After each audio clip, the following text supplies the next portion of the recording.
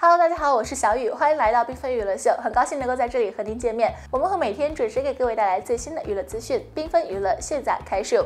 日前，二零二一亚太最佳艺人评选活动已经开启，宝藏男孩周深以破一百一十万的票数，以绝对优势继续领跑投票榜。而且目前他的得票超过排名第二的肖战一倍还多。在上月底举行的年度微博之夜的颁奖典礼之上，肖战、杨紫分别摘得了微博 King 和 Queen 的桂冠，十余个音乐领域的奖项呢也是花落各家。但在当时的这个榜单当中，并没有出现劳模打工人周深的身影。为此，瑞和君经过分析之后呢，周深未能得奖的原因是他相比那些顶流来看。看他的粉丝量仅有区区的六百余万，与那些动辄上千万甚至数千万的顶流是不能够相提并论的。为什么在二零二一亚太最佳艺人评选活动当中，周深能力能够压肖战、王一博、赵丽颖、杨紫等人呢？认真分析之后，终于找到了他逆袭的原因。在说原因之前呢，一起回顾一下周深这几年走过的历程。他出道于中国好声音的舞台，此后凭借着一首《大鱼》火遍大江南北，他迅速的火了起来。特别是在去年和今年，他更是登上了央视中秋晚会、春节联欢晚会和元宵晚会这三大舞台，更也是收获了众多喜爱他的声迷们。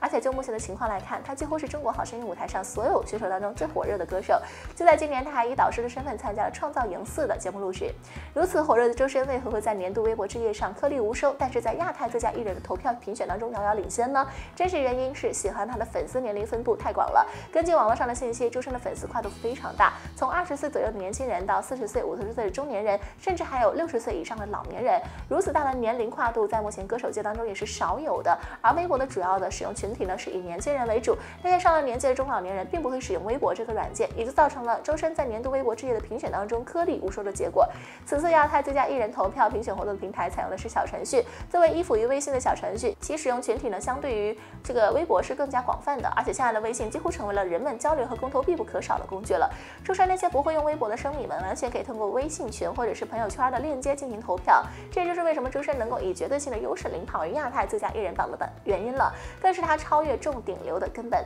吃瓜不停，娱乐不断，感谢大家关注缤纷娱乐秀。如果您喜欢我们频道的话，请给出您宝贵的赞，并且记得订阅我们，同时不要忘记了点亮订阅右边的小铃铛，这样就可以在第一时间收到我们的频道内容了。我们下期节目再见吧，拜拜。